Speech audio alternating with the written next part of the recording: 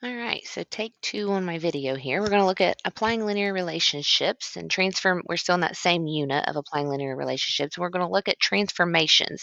Now, you were supposed to start on this yesterday, but um, I know that sometimes things get lost when I'm out, and I'm not sure if you guys got handouts or not. So I'm going to cover some of the things that were on the handout.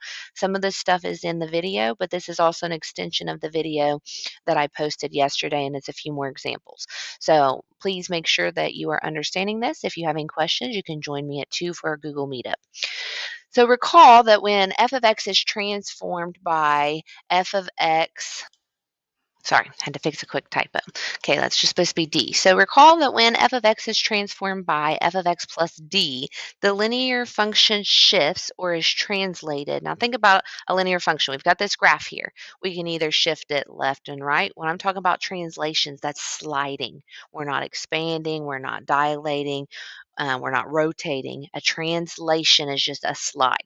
So we can either slide left or right, or we can slide up or down. So the main things that I want you to learn today is when you're adding outside or subtracting outside of the function notation, outside of the f of x, that that is a vertical translation. So it shifts or is translated vertically. So it's going to take that parent function, which passes through the origin, and it's going to shift it up, or it's going to shift it down. That's a vertical translation. So um, if I add, then that's kind of easy to see that it's going to shift it up, and if we subtract, that's going to shift it down. So let's think about this. I've got the parent function over here, passes through the origin.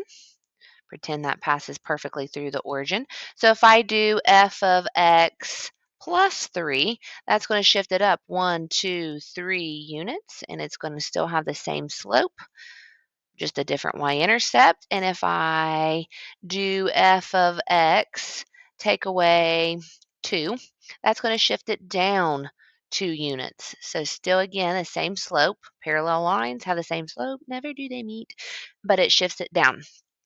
All right, so now describe the relationship between the function and the parent function and graph and label. So let's first begin by graphing the parent function. We know it passes through the origin, so it's here at 0, 0. It has a slope of 1, so it's going up 1 over 1, up 1 over 1, up 1 over 1, and it goes down 1. Um, recall that the parent function is just f of x equals x. The slope is 1 plus 0 if we wanted to put it there, or we can just keep it simplified as f of x plus 1. Just wanted to make sure we cover that one more time. It's very important to understand what the parent function is. Okay, so let's put this line on here, connect our points. I'm using Christmas collars in the wrong season, y'all. All right, so put my arrows on the end. Now we're going to do f of x minus 5. So that's a translation. We're going to shift it down 5 units. Each point gets shifted down 5 units, down 5 units, down 5 units. And after a while, you start to see, okay, the slope's still the same, going up 1 over 1. As each point moves down 5, it's a constant rate of change. So, of course, my slope is going to stay the same and we can connect those points. And now we need to label which one is which. This is my f of x function, the parent function, and this is my h of x function. All right, so let's try this next one here. Miss Hannah graphed g of x and Miss Olivia graphed h of x. Hannah's function was g of x, which is equal to f of x plus 6. So we're going to label these. Obviously, this one is f of x, we can recognize it's the parent function. So which one would be Hannah's? If we did f of x plus 6, that gives us g of x. So which one shifted up 6 units? And it is, of course, the blue line. So this is g of x. So what is the equation for Miss Olivia's function? Well, it looks like it went from here and dropped down 8 units. So that's nothing more than the function f of x, and we take away 8. All right, so what happens if we're not doing it outside of the parentheses? We're doing it inside of the parentheses. Well, remember, we're still talking about a translation. We're translating it to the right or to the left. It says translated right here. So if we have this,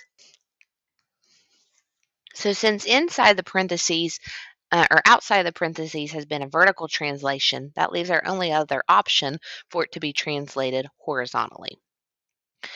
And the weird thing is with the horizontal translations, you would think that, you know, adding would move to the right and subtracting would move to the left, but unfortunately it doesn't work that way. So with the plus C, what happens is the line will shift to the left that number of units, whatever C, the value of C is. And if I subtract C, that shifts it to the right, that number of units. And I'm going to try to explain why.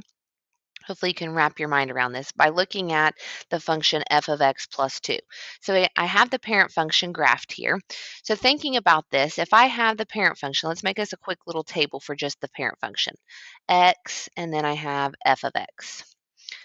Okay, so let's see. If x is negative 1, I get out, if I plug in a negative 1 for x, I get out a negative 1 for f of x. If I plug in a 0, I get out a 0. If I plug in a 1, I get out a 1. Okay, so let's think about then what happens if I add 2 to that function, to the x value, what do I then get out? So let's plug in some values here. If I plug in a negative 1, and then I add 2 to it. Negative 1 plus 2 is 1. So if I plug in a negative 1, that gives me out the value as, as if I plugged in a 1. So it gives me out a 1. If I plugged in a 0, 0 plus 2 is 2. So if I plugged in a 2, we could keep on going here. I get out a 2. So when I plug in a 0 over here, since I had to add 2 to it, it's the same as if I plugged in a 2 here and got out a 2. If I plug in 1, if I plug in 1 plus 2 is 3, I get out a 3. So let's look at it. Negative 1, 1, 0, 2. Um, let's see here, 1, 3. And you can see the pattern would continue. I just keep on going up this way, and I'd keep on going down this direction. So let's see what happened here. When I added 2, it shifted it from the origin to the left two units. So describe how the function relates. Well, it shifts it to the left two units. So what can we um, assume is going to happen here?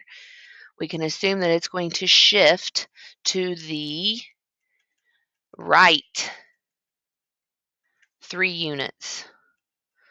So let's graph it. We start here, we go over 3, we look at this point, go over 3. We look at this point, we go over 3. So the slope is still the same.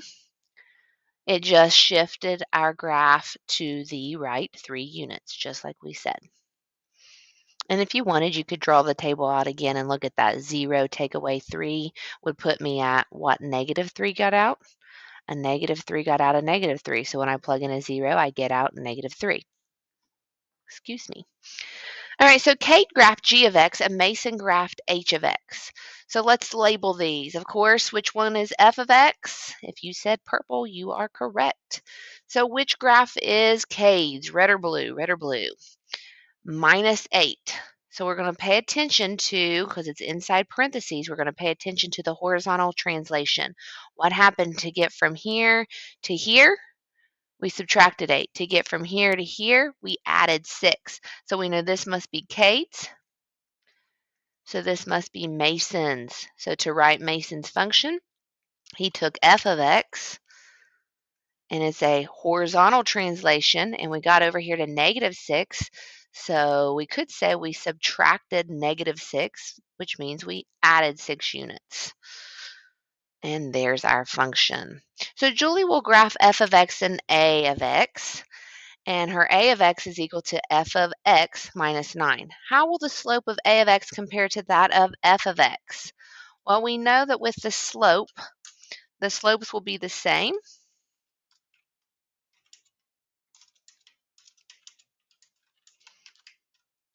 The slope doesn't change. And how will the x-intercepts compare? Well, the x-intercept of um, the f of x function is of f of x, I can't type and talk at the same time, is 0. And for uh, a of x, we know that it's going to translate over 9 units to the right since it's subtract, by 9. So, so the x-intercept for a of x translates 9 units. We could just say of a of x is at 9 because the function translated 9 units to the right. All right, that's a wrap, guys. That takes care of our lesson. You have homework. It will be posted on Google Classroom. If you have any questions, feel free to let me know. Hopefully, I will see you at 2.